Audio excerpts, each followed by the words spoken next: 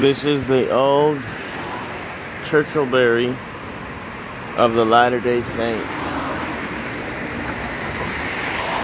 There's baby Jesus as we speak.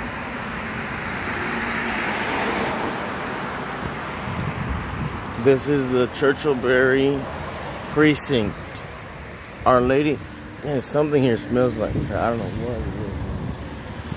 Our Lady of Sorrows, Nuestra Senora de los Dolores.